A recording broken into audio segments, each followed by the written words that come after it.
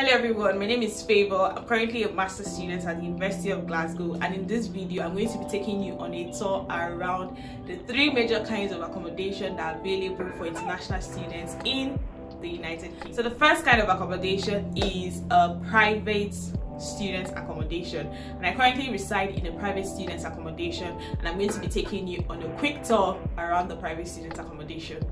There are a good number of private student housing providers. The popular ones include Student Roost, Unite Students, and Uniaco. Booking early helps you get best prices. My house rent currently ranges from £120 to £135 weekly. The process is pretty seamless and majorly involves you booking your choice housing on their websites while rooms are still available. It may also involve you making a refundable deposit payment to secure your space, and then you can book a space even before you arrive in UK. If you're confused on making a decision, I just suggest checking out reviews on Student Crowd to filter your choices. My room is ensuite, which means it has its own bathroom. It's quite spacious and comes with a double door wardrobe. It's also got lots of cabinets and drawer spaces. It's all bills inclusive, so I don't have to worry about extra costs on Wi-Fi, gas or electricity. Um, it also has a great view, but it's majorly because I stay on the fifth floor. Dating is also included in the rent, so I don't have to pay separately for it. It's got its own table and chair that helps me with reading and studying.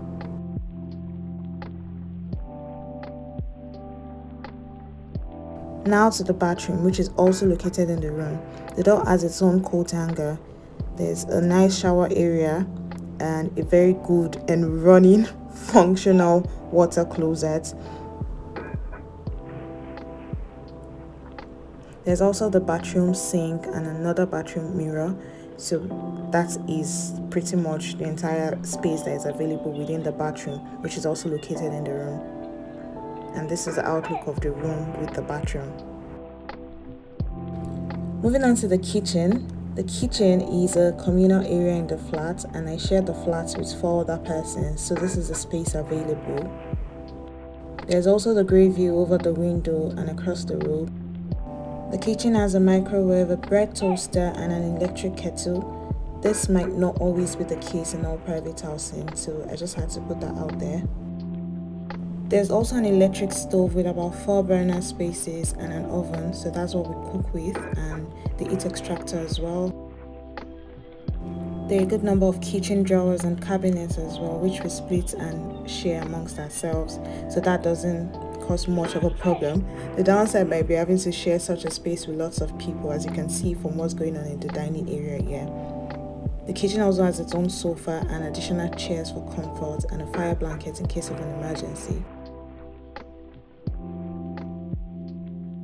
We sadly have only one fridge and have to allocate each drawer space to one person per flat. Um, the door becomes the common area. and the same thing is equally applicable for the freezer as well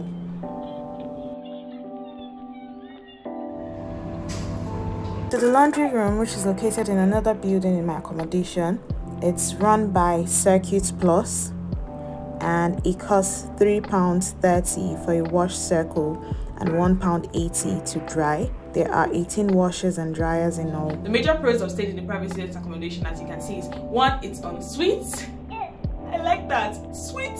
One is a suite. You get your bathroom and your toilet in the same private area as you. You get to use a, um, a common kitchen area with other people. The kitchens are usually big, usually in quotes, depending on your private housing provider. And three, your parcels are delivered at the reception and there's always someone that is available to pick it up for you or to sign in for you.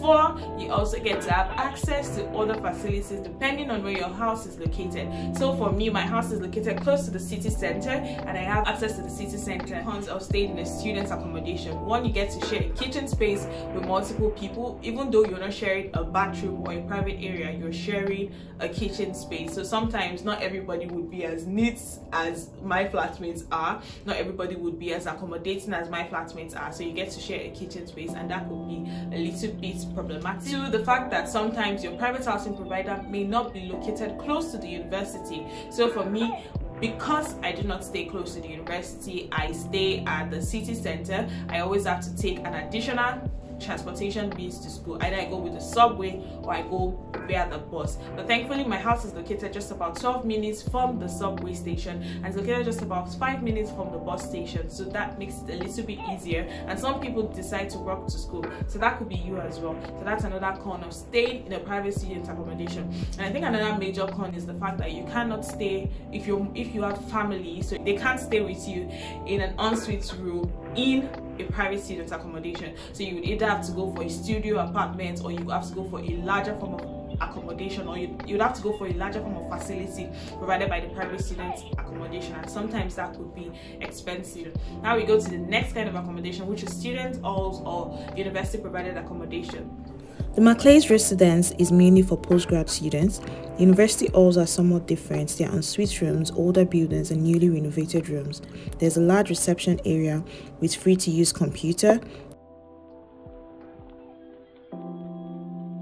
There's also a small library that is available for the residents and ready access to University of Glasgow printing facilities.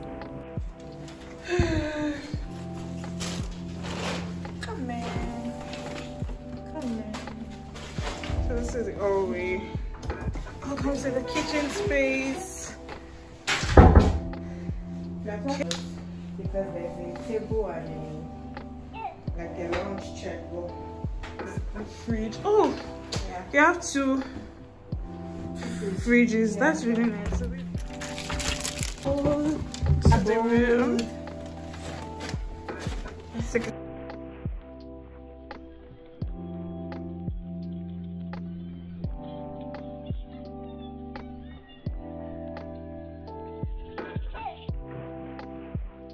Okay, and they also have shelves.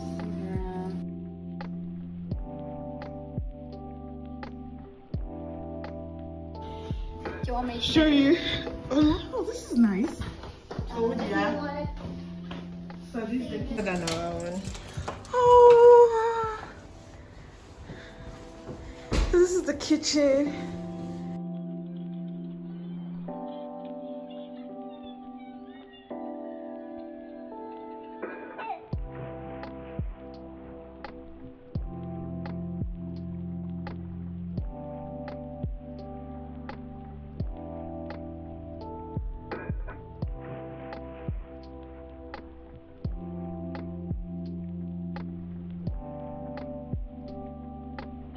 Hi, this is so nice.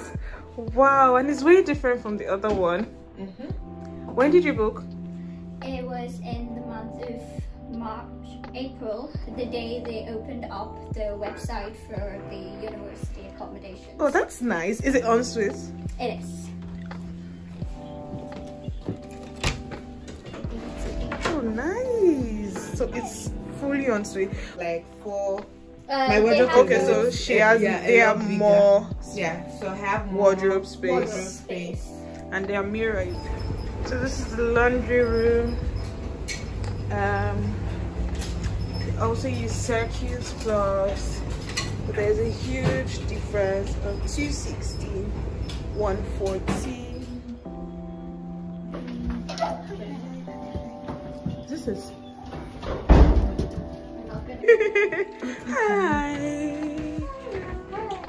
this is the room space.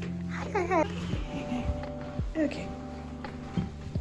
So this is the kitchen. How many are you? Five of us. Five. So this is the kitchen, and there's a nice view as well. Yeah. Up a garden. so this is the toilet. You just, just one toilet. Hmm? Just one? Yes. Yeah. This one and that one. Let's go. Just switch off. After it. so this is the bathroom.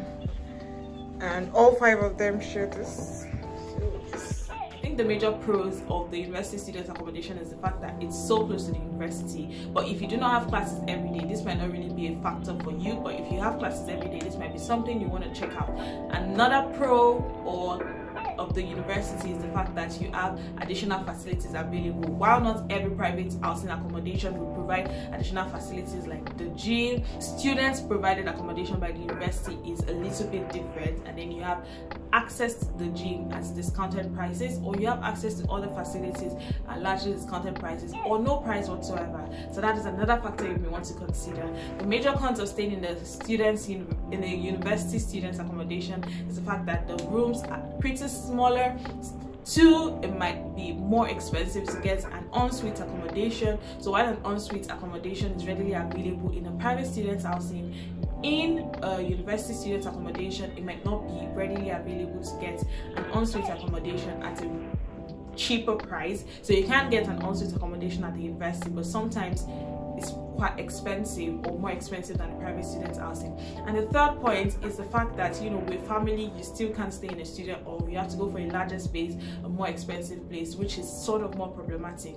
Another kind of staying in the student hall is also the fact that you get to share more common areas with your flatmates. So you're sharing a bathroom a private area you're also sharing a kitchen space with your flatmates. And sometimes there are about five to six persons in the same flat and that could be a wee bit problematic. So these are also things we want to consider finally the third kind of housing is private housing or as i like to call it regular housing so we talked about private student accommodation university student accommodation and the third point is private housing so these are houses that you can rent from people and let's go on the tour around this Hi. Hi. I like your crocs. Thank you. Okay.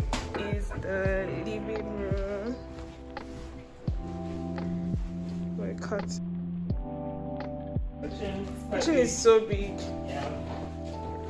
Um, and you have all these drawers to yourself. Like, Or like some of us are sharing. I've not even used half of. And there's a them. mirror. Yeah. This is actually a fridge. Oh, it's the Jesus.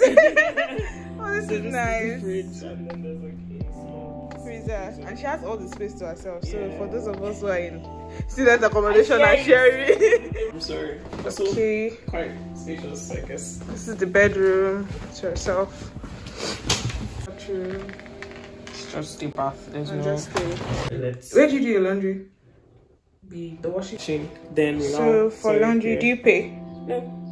So your laundry is free Like you just pay with your lights if you use your lights. so you just pay No, like this one. Um, so my house is gas central heating, yeah. okay So um, if there's a boiler here. okay This is the boiler, so I can turn it on and then turn on the heating, and then this um in-house display helps me monitor like what I'm spending in a day. oh So so far I've spent like one pound and three pence. So we have like electricity and then gas. So basically this is gas. I just have to turn it on. And then yeah.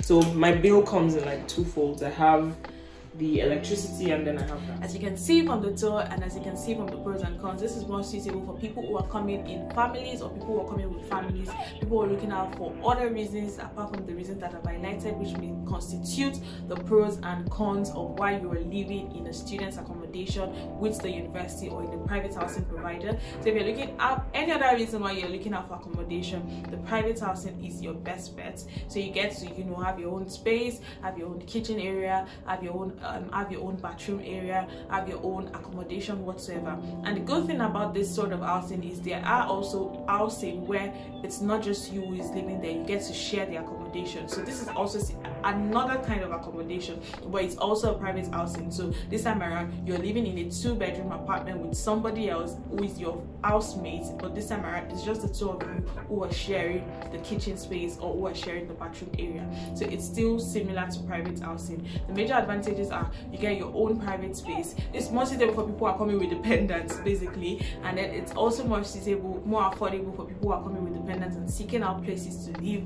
The cons, like um, the person rightly mentioned, include might not be easy to get. The fact that it might also be a, quite a distance from the university, so which increases your cost of transportation. But if you do not have classes every day, this might not be something that you have to really consider or really bother. And yes, so with this, we have come to the end of today's video. Did you find this video useful whatsoever? Let me know in the comment section. Also, hit the subscription button if you haven't subscribed. Uh, what accommodation would you like to stay? Are you planning on coming to the university of glasgow? What are the issues or concerns that you may have? Let me know all of this in the comments that section down below. Bye for now